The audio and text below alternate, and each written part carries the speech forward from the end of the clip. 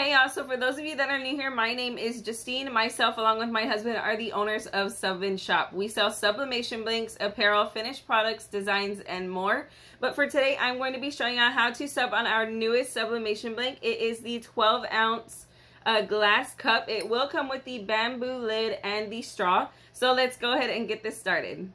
The supplies you'll be needing to do this is our sublimation 12 ounce glass cup, heat resistant tape, you will need a lint roller and general purpose tape or painter's tape if you use the tape method like I do.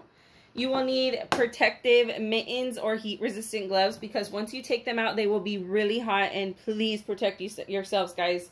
You will burn yourself. And I also use these that I got from Walmart. It makes it so much easier to grab cups or tumblers out of your oven without burning yourself.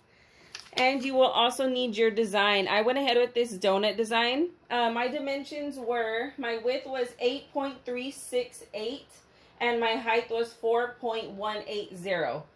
Now keep in mind your dimensions may um, be different from mine based off the design you use. But yes guys, that's what you'll need to get this started. So let's go.